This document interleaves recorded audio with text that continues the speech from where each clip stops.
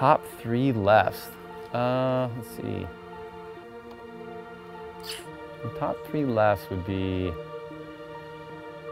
well, Teahupoo would be one. It's just an incredible piece of reef.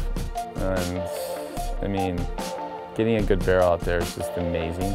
Uh, scary, you know, it just keeps you on your toes at all times. And when you see that, when you come over a, a wave and you see that lump coming at you of, of, of water, it's just, it gets your heart going. It's, it's so cool.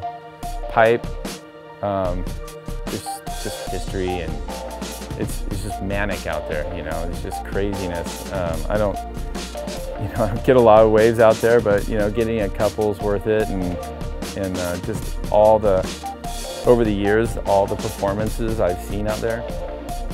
Uh, and it's our, yeah, it's, it's our drama contest for surfing because, you know, the world title's going on at the end and, you know, it's the crowds on the beach and Rick Kane surfed there and, you know, it's all happening.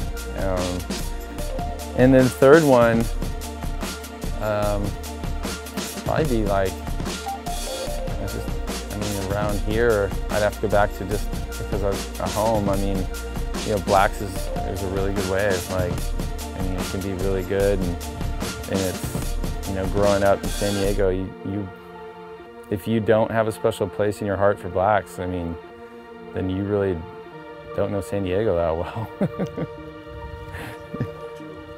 yeah, I mean, it's just, it's our, it's, a, it's our spot, like, you know, in, in San Diego that it brings just, it's a canyon and it's a beach break. So, you know, a couple reefs and a good beach break.